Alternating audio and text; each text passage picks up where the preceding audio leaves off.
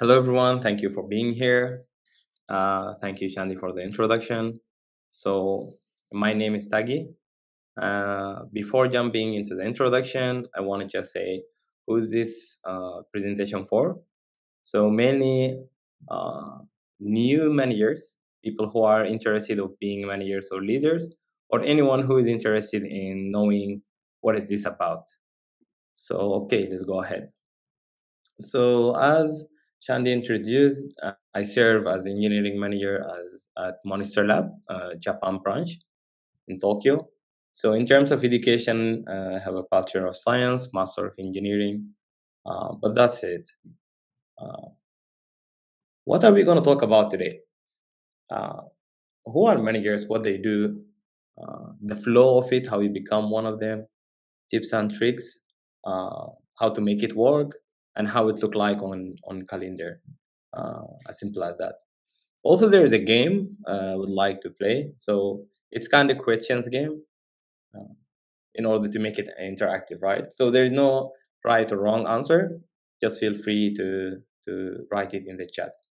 So firstly uh, do you care more about people or technology? So this is kind of binary but just uh, give it a try right? Uh, Okay.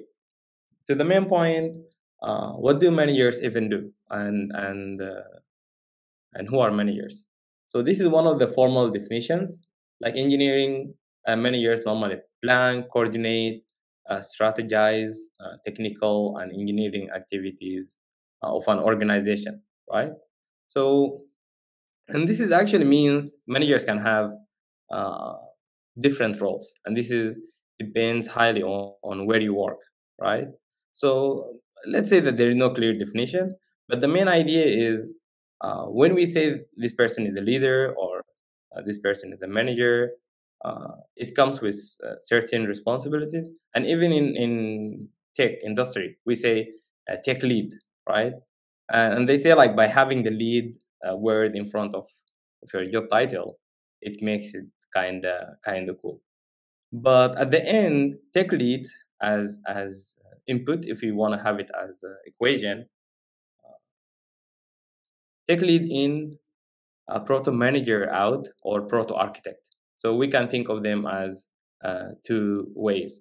When you have a tech lead, they can be either managers or they can be either uh, architects or super super engineers. But uh, putting the formal definitions aside, uh, what is what is the cool part about this actually? So when you are in management, management involves individualizing every employee to maximize their potential, uh, to best utilize their unique skills. Uh, also, managers have the ability to improve employee satisfaction, right, and uh, development by getting to know them personally, promoting great success and productivity. Good managers also provide employees with the support and resources not only to perform well, but also to exceed uh, expectations. So let's say it's all about help, support, uh, motivating, utilizing uh, skills, right? Uh, so how you become there? How you become a manager? How you end up there? So the flow is normally uh, like this. Uh, hey, this person is very good at what they are doing. Let's make him or her a manager. Uh, and it's kind of step we assume, right? If, if we are doing well uh, and we are serving as super doer, uh, which is in our case super uh, software engineering, uh, then we expect uh, ourselves and, and the people that we want to assign as managers to continue doing that plus new managerial responsibilities.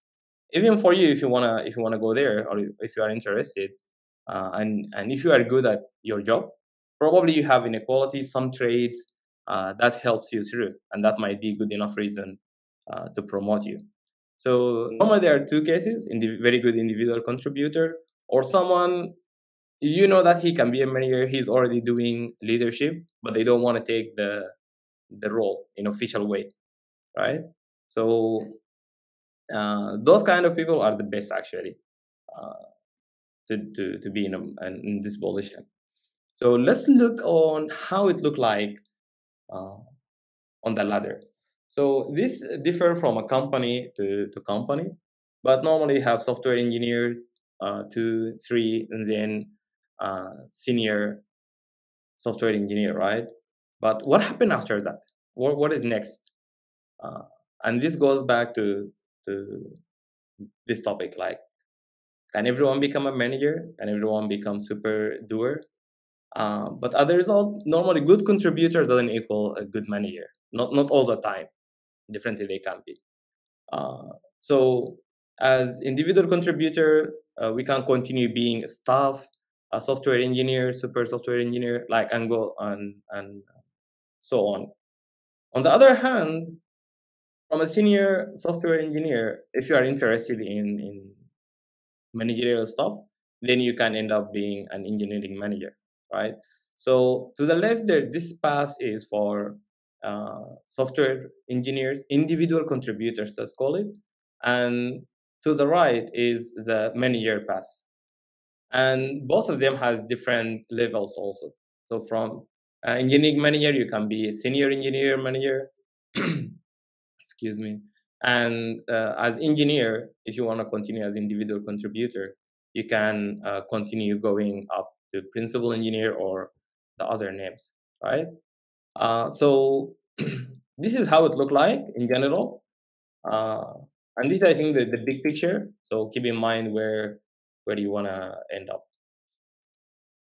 Before and after. So let's say that you already made the decision that you like management, you like supporting people, helping your team. So how uh, how you you do that? And there is just a small difference between before and, and after become engineering manager in general. So when you are individual contributor, you are solely responsible for your own work. Uh, when you become a manager, there is this paradigm shift, and uh, you now become responsible for work through and with others. Uh, you think at the beginning you think you have good communication skills, related skills also, but then you figure it out. You figure out actually management requires different set of skills, right? So what I'm trying to say here is, in order to be successful in managerial uh, tasks or at the managerial level, uh, or continue to be promoted, we have to invest in personal development. We as engineers normally we focus so much on technical skills, but that's not enough if you want to go to the managerial path. Right. So personal development, we need to figure out how to make the transition. We need to do it well. Uh, otherwise, you're gonna raise to the level of uh, incompetence. Okay. So uh, this is kind of a bit scary, but there is uh, something called Peter uh, uh, principle or law. This is by Lawrence J. Peter, and it says that employees rise to the level of their incompetence. So, in order not to end up there, let's focus on personal development and soft skills. Cool. So this is mainly the difference. another question, just to refresh an executive asks for a feature to land by a set uh, deadline, right? So, what are your thoughts? Someone out of nowhere just ask for a feature, they already defined the deadline. Uh, what do you think of that? There is no right, again, there is no right or wrong answer. Just go ahead with it. Uh, okay. So, just quickly, points to make this work. Uh, we we saw the flow now you are interested in such role so how you to make it work so those are points i i got from matt right so firstly let's call it the process the process of the group or group processing so normally the the way group interact and the way group stick to a process is totally different from what you used to do before or what you used to be when you're an individual contributor it means uh, you need to give clear thoughts to the dynamics of the group and where the team needs to go collectively. So let's call it a group process, right? The second P is peers. Uh, when you're at a manager level, you integrate, you are integrating and relying on your peers more than you did before. Uh, before you could just go do your work and shine. That was the way to, to go to the next level. But now you are relying on your peers actually. For example, you might need an input from another manager in order to have your team do the job do the job effectively. uh, you got to build an effective alliance uh, within your, with your peers. Uh, the third P is people. So when you're in a leadership position or managerial position, actually you are in the business of people more than more than technology, right? And you gotta get good at communicating effectively with the people you manage, uh, with your peers, and upward the line in order to give and get information, right? And to give, uh, more importantly, to give information up the chain of command that's required. Uh, the fourth P is paperwork. Uh, and this, what we mean by paperwork is the process. Normally, there's a lot of reporting, a lot of paperwork, tracking things, rather than just uh, doing your own work. You are responsible for the paperwork associated with project management, and that can be overwhelming sometimes. So, yeah, figure out some organizational skills, and that I think uh, can help. The fifth P, and I think this is the most important, is uh, politics. And what uh, I mean by that is uh, the ability to gently, persuasively, and with some skills give and receive feedback.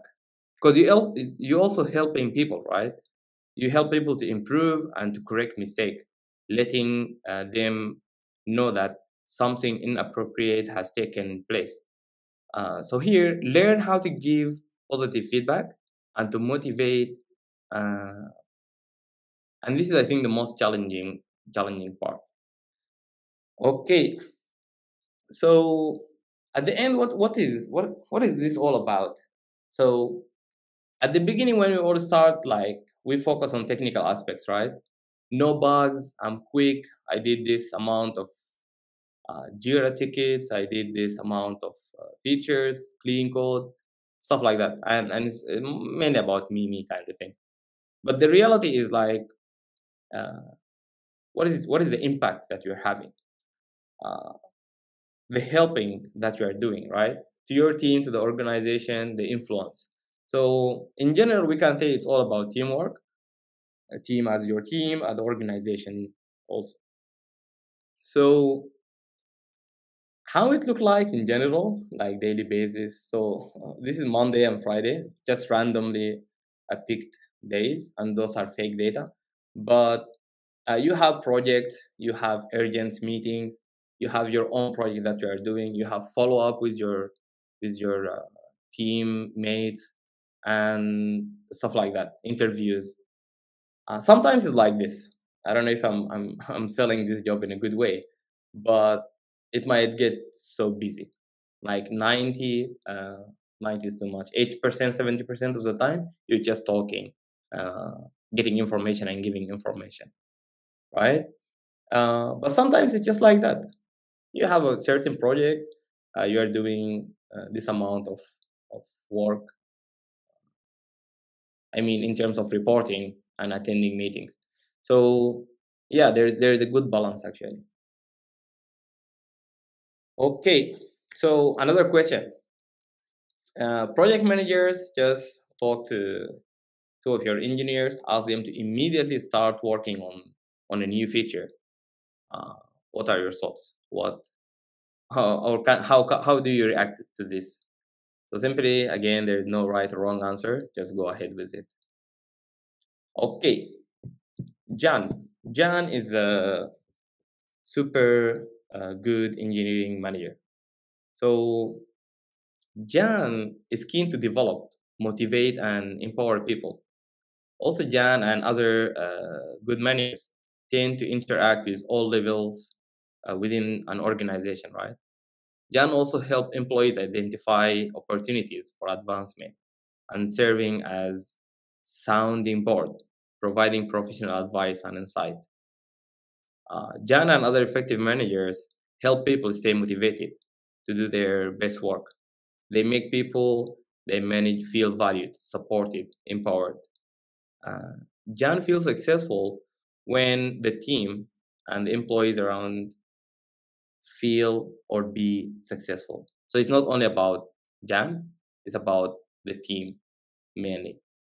Uh, Jan and other managers showed genuine interest in employees' career development, acknowledge improvement, and not just deliverables, right? That's, that's something we focus, but not only uh, deliverables. We need to focus on improvement.